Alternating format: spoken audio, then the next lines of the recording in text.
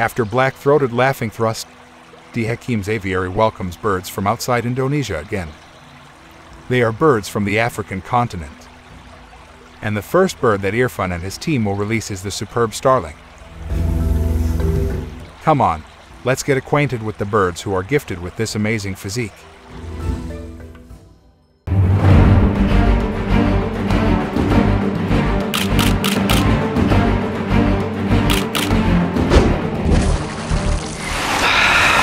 It's the aviary.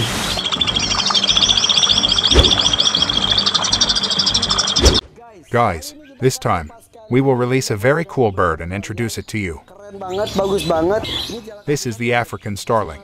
Look, there's white around his eyes, like glasses. The head is black. The neck is dark blue, gradually turning down to light blue green, muda kehijauan di bawahnya juga with the lower body brown. He's so cool. There is a white line resembling a necklace on his chest. That's right. Then why birds from Africa can exist in Indonesia? This is for educational purposes, to increase knowledge. Yes, it is true. This is also for research, and clearly, we are looking for birds that can coexist. Our main focus remains on birds from Indonesia, but occasionally we receive birds from overseas, such as the black-throated laughing thrust, Chinese Hwamei, then now the superb starling. Okay, we're ready to release this bird. Ready. One. Two. Nah,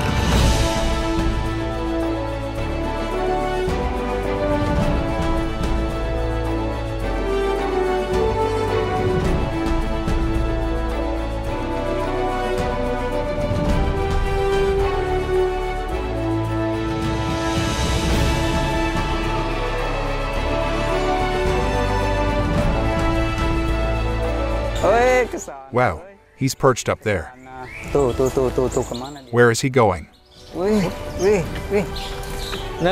Now, he lands on Kadaka. Superb Starling or Lamprotornis superbus. Seen from the name, they belong to the family of starlings. Of course, you still remember the Bali starling. That means Superb Starling is still a family with this Super Starling. However, unlike the Bali starling, the superb starling inhabits the African continent, particularly in East Africa, such as in Uganda, Somalia, Kenya, Ethiopia, Tanzania, and South Sudan. They like dry and humid places. In the wild, superb starling makes savanna, thorny bushes, forests, agricultural fields, damp areas on the edge of lakes or rivers, to human settlements as their habitat. Superb starling does tend to be docile in humans. In addition, they are known as birds that like to live in small colonies and have a high sense of solidarity. For example, superb starling babies that have just hatched from eggs are not only cared for and raised by their parents but also by other superb starlings, as long as they are still in the same colony. They also sometimes live together in a group with starlings of different species. Thanks to their friendliness and excellent adaptability and ease of breeding, superb starlings are often kept in many aviaries. Superb starling has an appearance almost similar to Shelley's starling and Hildebrandt's starling, two bird species that both inhabit East Africa, so you don't get to be mistaken.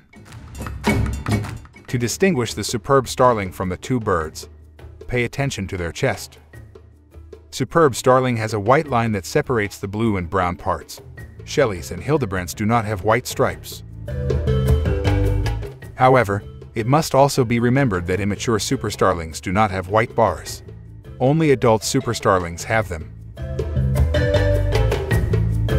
When foraging for food, the superb starling will explore the ground or climb acacia trees. Their main diet includes insects and worms. But if they find seeds, berries, and nectar, they will not refuse to eat them. They like to build nests in trees and between bushes or crevices and large rocks. The nest is round, made of small branches and grass. In the nest, the female mother lays two to five eggs and incubates them. After about two weeks of incubation, the eggs will hatch, and the two parents then take care of the chicks. However, as discussed earlier, another superb starling might help the two mothers care for their young. The song of these birds is somewhat similar to the black-collared starling, loud and long. Here's an example of their natural tweet.